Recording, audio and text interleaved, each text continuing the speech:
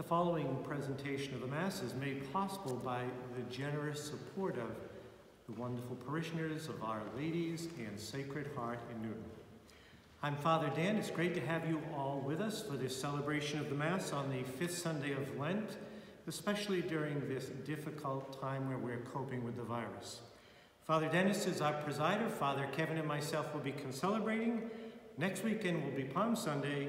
Father Dennis, please lead us in prayer.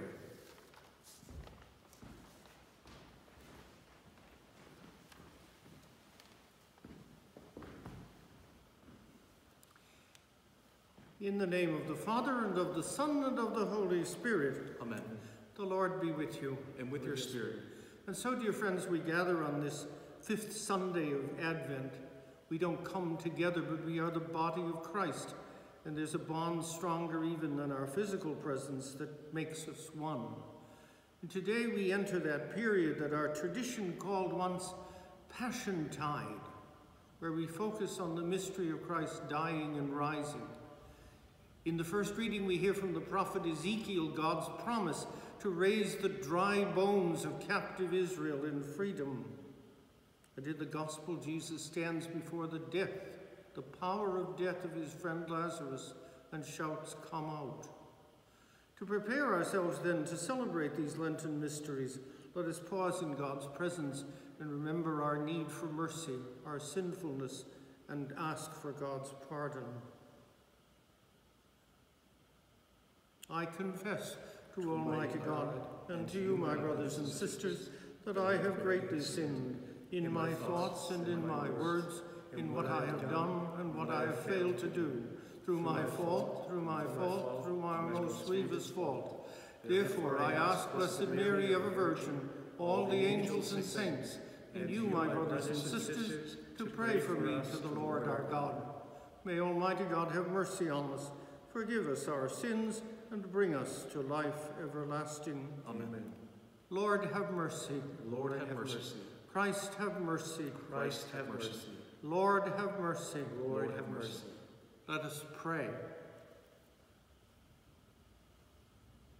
By your help, Lord, we beseech you, may we walk eagerly in that same charity with which, out of love for the world, your Son handed himself over to death. Through our Lord Jesus Christ, your Son, who lives and reigns with you in the unity of the Holy Spirit, one God forever and ever. Amen.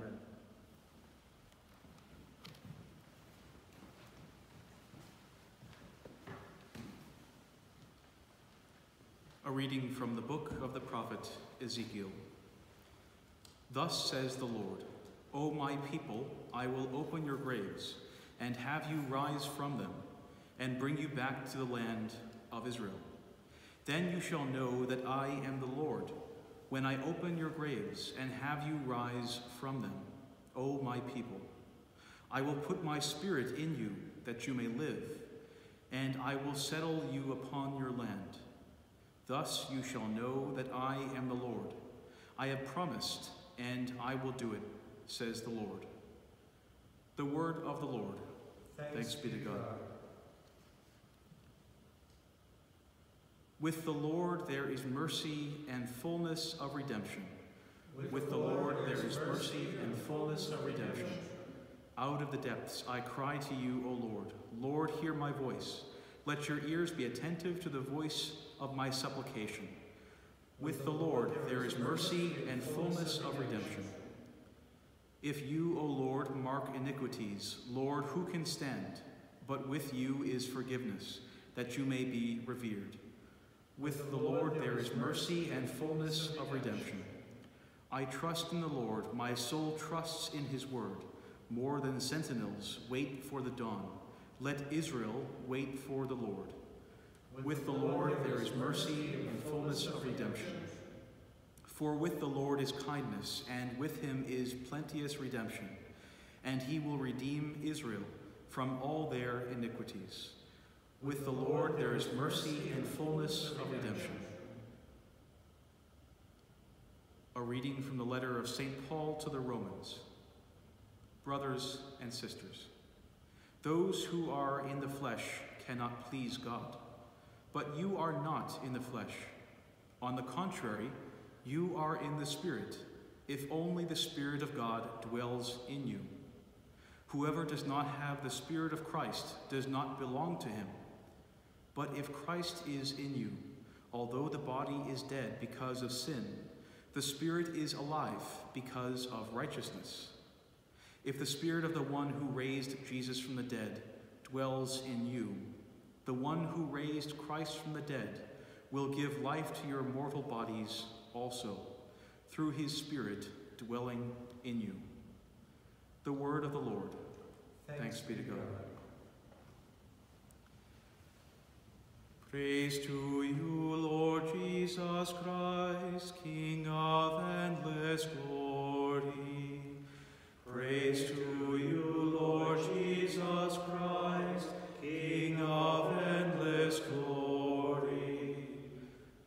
am the resurrection and the life, says the Lord. Whoever believes in me will never die. Praise to you, Lord Jesus Christ, King of endless glory. The Lord be with you.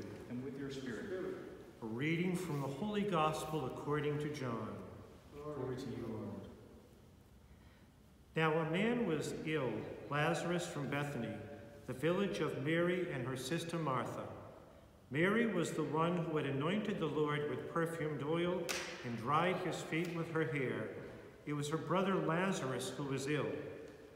So the sisters sent word to Jesus saying, Master, the one you love is ill. When Jesus heard this, he said, The illness is not to end in death, but is for the glory of God, that the Son of God may be glorified through it. Now Jesus loved Martha and her sister, and Lazarus. So when he heard that he was ill, he remained for two days in the place where he was. Then after this he said to his disciples, Let us go up to Judea. The disciples said to him, Rabbi, the Jews were just trying to stone you, and you want to go back there? Jesus answered, Are there not twelve hours in a day? If one walks during the day, he does not stumble because he sees the light of this world. But if one walks at night, he stumbles because the light is not in him. He said this and then told them, Our friend Lazarus is asleep, but I am going to awaken him. So the disciples said to him, Master, if he is asleep, he will be saved. But Jesus was talking about his death, while they thought he meant ordinary sleep.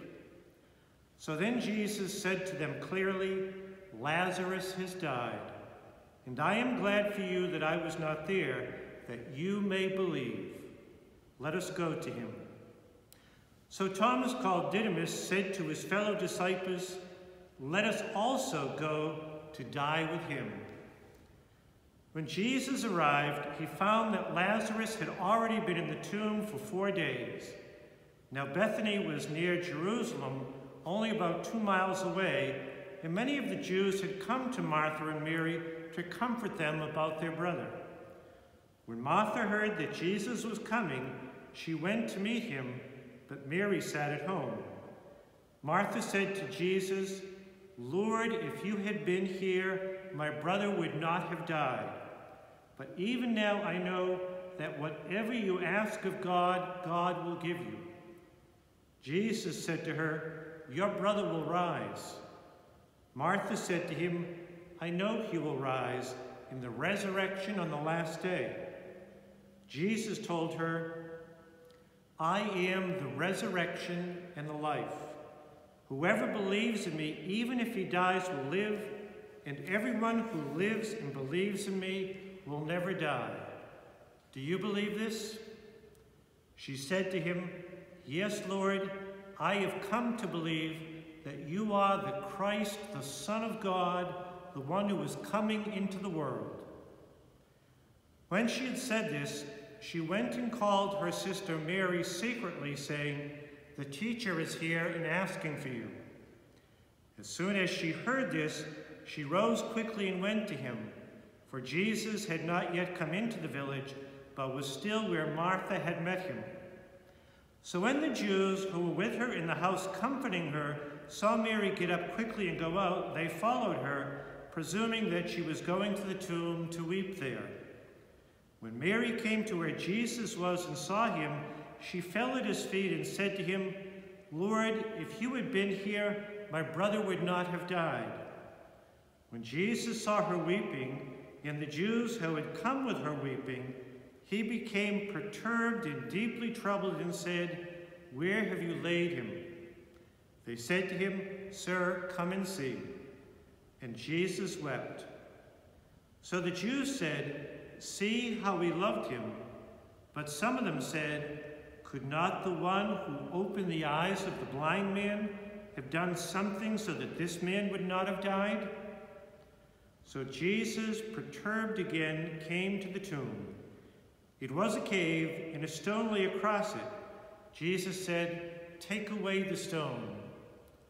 Martha, the dead man's sister, said to him, Lord, by now there will be a stench.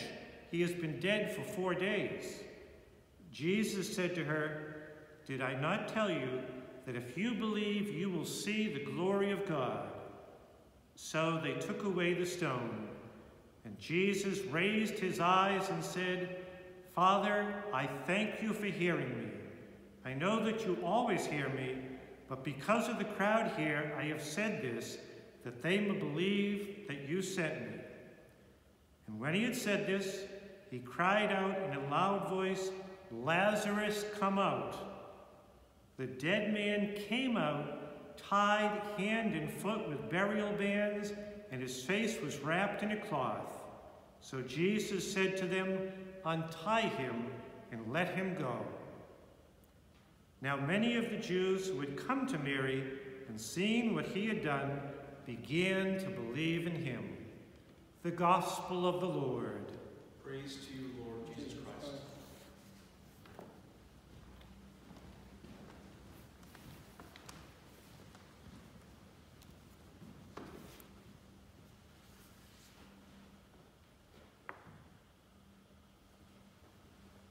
Dear friends, we're all experiencing it, aren't we? To some extent right now. Something terrible has come among us. In our grief, we wonder if this terrible, unexpected reality will have the last word. Is a long night ahead of us, or is there some light? Does coronavirus have the last word?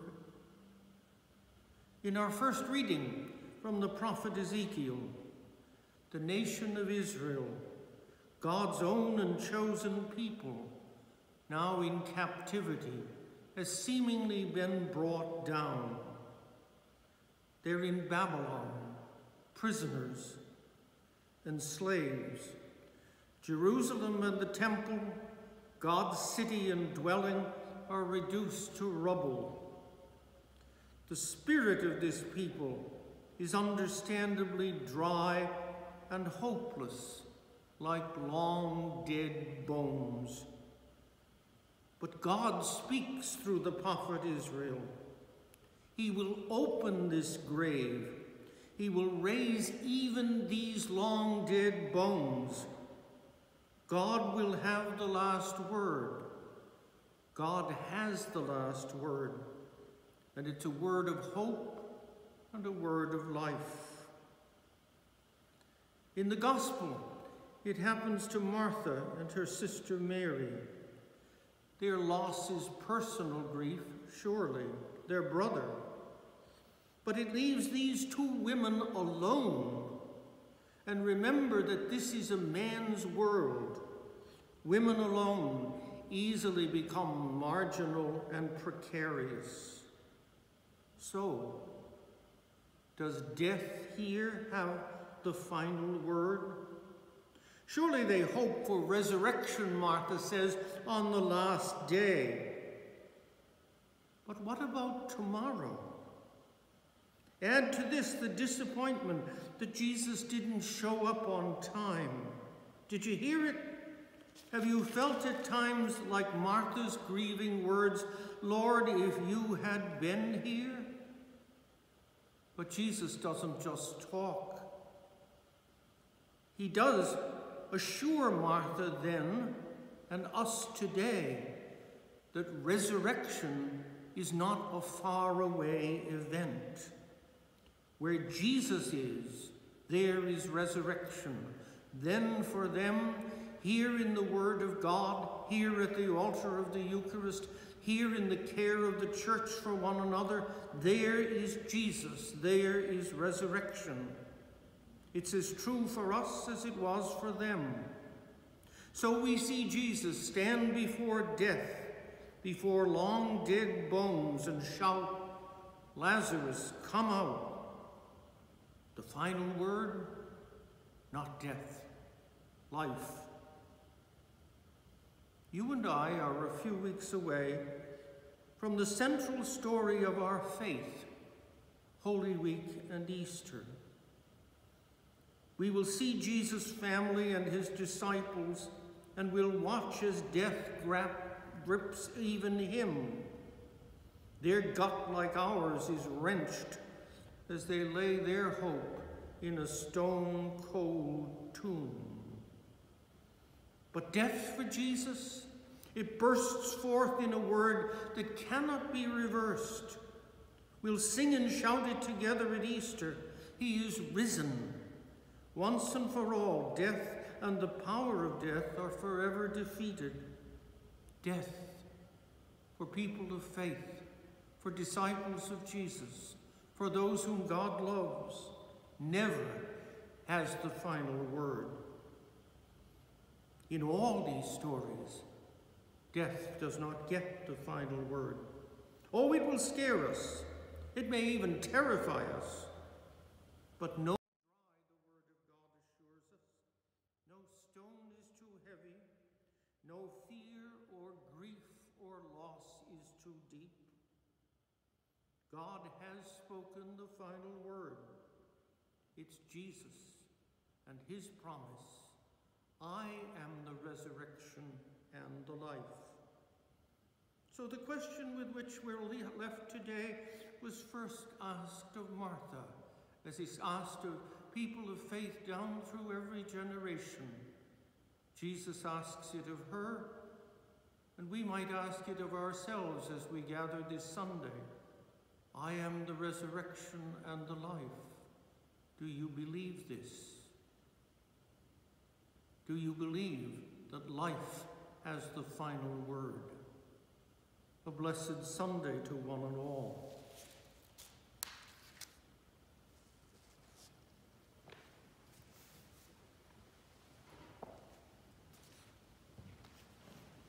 Together we profess our faith. I believe in one God, the Father Almighty, the maker of heaven and earth, of all things visible and invisible I believe in one Lord Jesus Christ, the only begotten Son of God, born of the Father before all ages, God from God, light from light, true God from true God, begotten, not made, consubstantial with the Father. Through him all things were made. For us men and for our salvation, he came down from heaven, and by the Holy Spirit was incarnate of the Virgin Mary and became man. For our sake he was crucified under Pontius Pilate. He suffered death and was buried, and rose again on the third day in accordance with the Scriptures. He ascended into heaven and is seated at the right hand of the Father. He will come again in glory to judge the living and the dead, and his kingdom will have no end. I believe in the Holy Spirit, the Lord, the giver of life, who proceeds from the Father and the Son, who with the Father and the Son is adored and glorified, who has spoken through the prophets. I believe in one holy Catholic and Apostolic Church. I confess one baptism for the forgiveness of sins, and I look forward to the resurrection of the dead and the life of the world to come. Amen.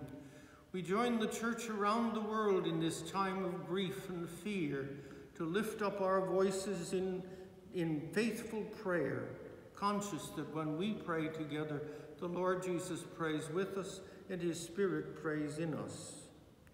Let us pray for the church in this time of coronavirus, that it be a comforting and welcoming community around the globe, that it offer healing and uplifting, that it offers strength and comfort.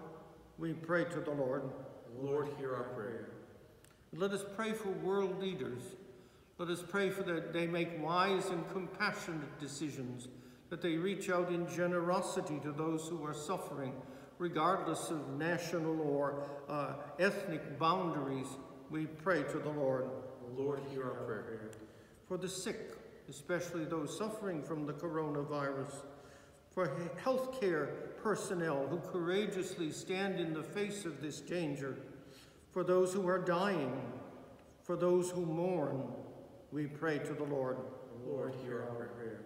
We pause for a moment in silence to add the prayers that lie within our hearts. For all who have asked for our prayers and need our prayers, we pray to the Lord. Lord, hear our prayer. And for ourselves, that during this time of danger and fear, we be models of faith and courage and reach out to those around us in the name of Christ the Lord. We pray to the Lord. Lord, hear our prayer. Let us remember and pray for our brothers and sisters who have died. Let us pray for those who have died in recent days. Let us pray for those who mourn their dead, that they know Christ's comforting presence as Martha and Mary did. We pray to the Lord. Lord, hear our prayer. Lord, guide us on this Lenten journey as our hearts are fearful and our faith is weak. Strengthen us so that we come through these Lenten days to Easter with heart and mind renewed through Jesus Christ the Lord. Amen.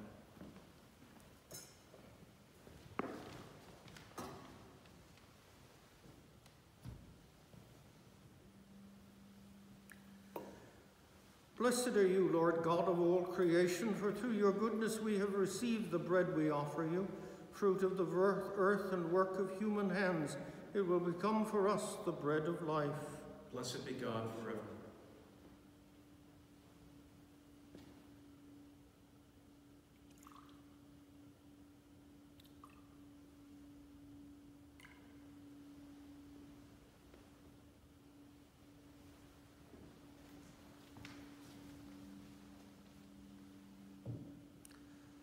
Blessed are you, Lord God of all creation. Through, through your goodness we have received the wine we offer you, fruit of the vine and work of human hands. It will become our spiritual drink.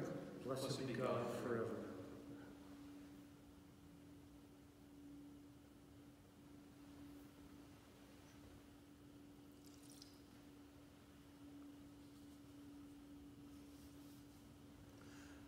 Pray, sisters and brothers, that my sacrifice and yours be acceptable to God the Father Almighty.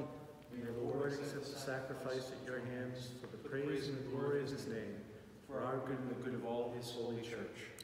Hear us, Almighty God, and having instilled in your servants the teachings of the Christian faith, graciously purify them by the working of this sacrifice through Christ our Lord. Amen. The Lord be with you. And with your spirit, Lift up your hearts. we lift them up to the Lord. Let us give thanks to the Lord our God.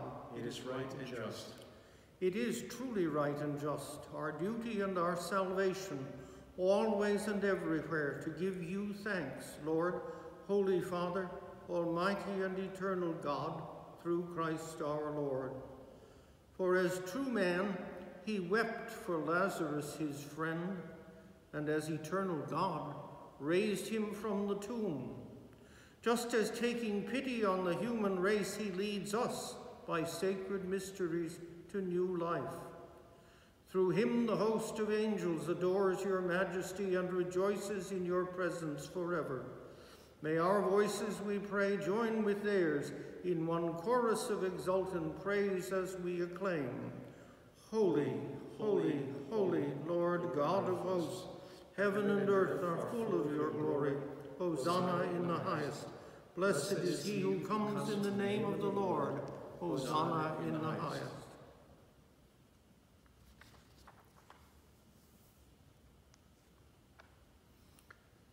You are indeed holy, O Lord, and all you have created rightly gives you praise.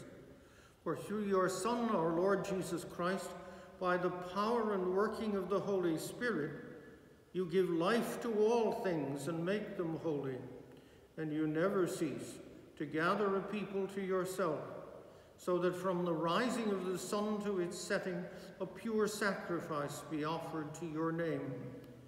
Therefore, O Lord, we humbly implore you by the same Spirit, graciously make holy these gifts we have brought to you for consecration, that they may become the body and blood of your Son, our Lord Jesus Christ, at whose command we celebrate these mysteries. For on the night he was betrayed, he himself took bread, and giving you thanks, he said the blessing, broke the bread, and gave it to his disciples, saying, Take this, all of you, and eat of it, for this is my body, which will be given up for you.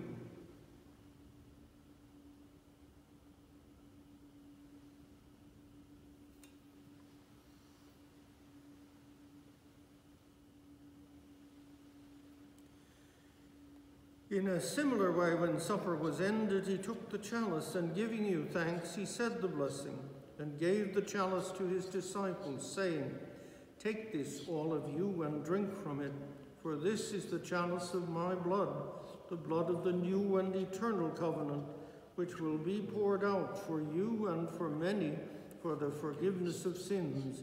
Do this in memory of me.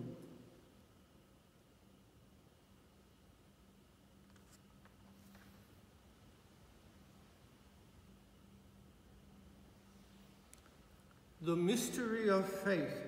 We proclaim your death, O Lord, and profess your resurrection until you come again. Therefore, O Lord, as we celebrate the memorial of the saving passion of your Son, his wondrous resurrection and ascension into heaven, and as we look forward to his second coming, we offer you in thanksgiving this holy and living sacrifice. Look, we pray, upon the offering of your church, and recognizing the sacrificial victim by whose death you will to reconcile us to yourself, grant that we, who are nourished by the body and blood of your Son and filled with his Holy Spirit, become one body, one spirit in Christ. May he make of us an eternal offering to you, so that we may obtain an inheritance with your elect, especially with the most blessed Virgin Mary, Mother of God, with blessed Joseph, her spouse, with your blessed apostles and glorious martyrs, with Saints Martha and Mary, and with all the saints, on whose constant intercession in your presence we rely for unfailing help. May this sacrifice of our reconciliation, we pray, O Lord, advance the peace and salvation of all the world be pleased to confirm in faith and charity your pilgrim church on earth with your servant Francis, our Pope, Sean, our Bishop, the order of bishops, all the clergy, and the entire people you have gained for your own. Listen graciously to the prayers of this family whom you have summoned before you. In your compassion, merciful Father, gather to yourself all your children scattered throughout the world. To our departed brothers and sisters, and to all who were pleasing to you at their passing from this life, give kind admittance to your kingdom. There we hope to enjoy forever the fullness of your glory through Christ our Lord, through whom you bestow on the world all that is good. Through him, and with him, and in him, O God, Almighty Father, in the unity of the Holy Spirit, all glory and honor is yours forever and ever.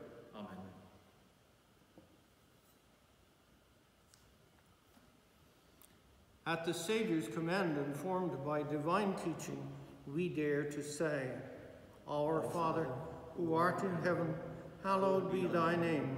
Thy kingdom come, thy will be done, on earth as it is in heaven. Give us this day our daily bread, and forgive us our trespasses, as we forgive those who trespass against us. And lead us not into temptation, but deliver us from evil. Deliver us, Lord, we pray, from every evil. graciously grant peace in our day, that by the help of your mercy we be always free from sin and safe from all distress, as we await the blessed hope and the coming of our Saviour, Jesus Christ. For the kingdom, the power, and the glory are yours now and forever. Lord Jesus Christ, who said to your apostles, Peace I leave you, my peace I give you, look not on our sins, but on the faith of your church. Graciously grant her peace and unity in accordance with your will, who live and reign forever and ever. Amen. Amen. The peace of the Lord be with all of you. And with your spirit. Let us offer each other a sign of peace.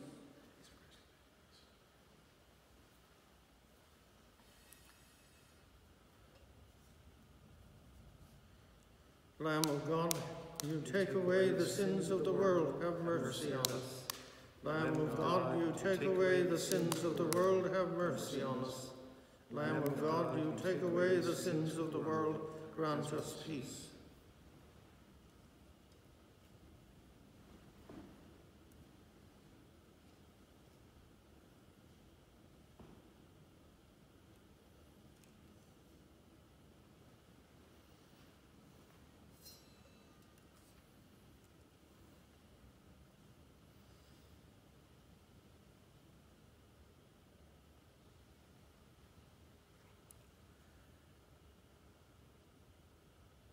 Behold the Lamb of God, behold him who takes away the sins of the world.